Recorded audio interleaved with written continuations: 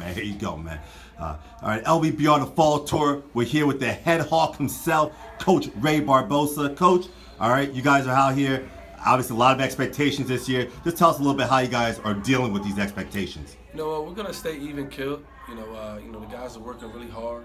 You know, we, you know, we know we, we got a target on our back, but you know we're gonna continue to work hard and continue to stay in the weight room, continue, you know, to work on stuff on the court and, and uh, just take it game by game and day by day. And, uh, hopefully, you know, we can we can turn it to big things this year. All right, Ray. I mean, you guys have had a pretty solid summer out here. You guys have been traveling all over the AAU circuit. Hard to keep all your guys together. Tell us now how that feels right now that, you know, the fall season, things are sliding down. You got a lot of you guys in the gym.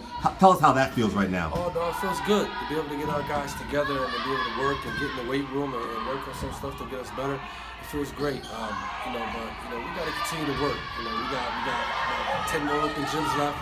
And then uh, when November starts, uh, you know, it's ready to practice. So we're just going to continue to work, continue to get better, and focus on our main goal. All right, Coach. I mean, last year you guys were won the district championships, defending four, 4A district champs. Sour ending to the season. Tell us a little bit how that feeling is lingering and, or how you guys are, are trying to improve on that. Well, you know what? The thing is, the, the thing is, you know, our guys aren't even, you know, we're not even concerned about that. We know, you know, we had a hiccup in the first round, but, you know, we know how good of a team we are, and, uh, you know, we're going to continue to work, stay in the weight room, work on our stuff, and then uh, hopefully when we get to that point this coming season, you know, we could uh, come out on top. All right, thank you.